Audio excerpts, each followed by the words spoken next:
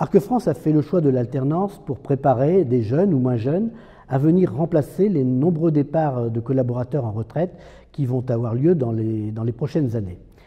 Euh, Aujourd'hui, les personnes qui vont quitter l'entreprise demain, ce sont des personnes qui ont une très forte expérience, qui ont d'énormes compétences dans nos métiers. Il est important d'assurer la transmission de savoir pour que l'entreprise demain soit euh, pérenne dans son fonctionnement, mais aussi soit en capacité de répondre à l'attente de nos clients.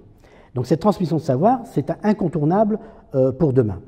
Euh, nous avons également de nombreux métiers en tension pour lesquels nous avons des difficultés à recruter sur le marché de l'emploi.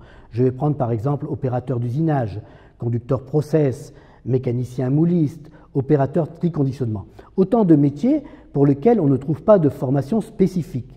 Donc participer à la formation, c'est un enjeu majeur pour nous pour que ces personnes acquièrent donc les savoirs, les connaissances et les savoir-faire pour venir remplacer euh, ces nombreux départs. Et le choix de l'alternance est important parce que c'est un apprentissage.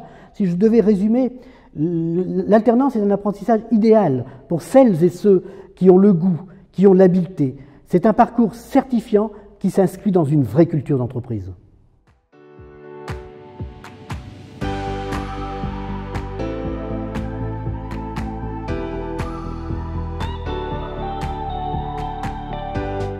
J'ai souhaité faire l'alternance puisque euh, déjà en BTS, j'ai fait une formation initiale et j'avais des collègues qui étaient alternants, donc c'était la même classe.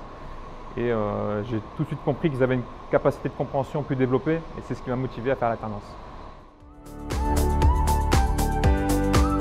J'ai souhaité faire de l'alternance pour découvrir le monde de l'entreprise.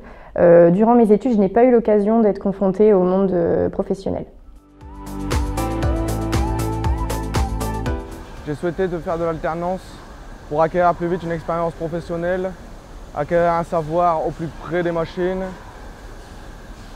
et pour avoir euh, au plus vite une rémunération et me lancer dans la vie active. Mon alternance s'est très bien passée, ça a été très enrichissant.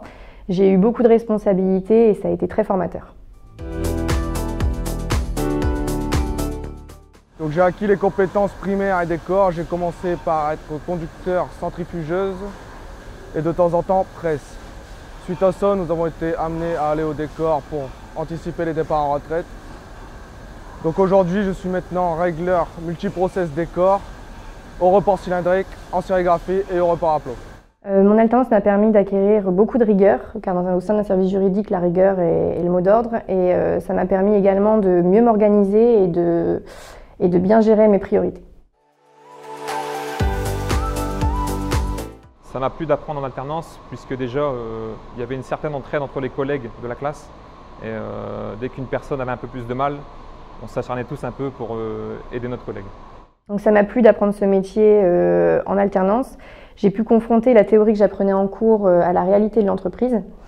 Et également, à la fin de mon alternance, on m'a proposé un poste de chargé de ressources humaines, ce qui m'a permis d'appréhender également l'aspect ressources humaines.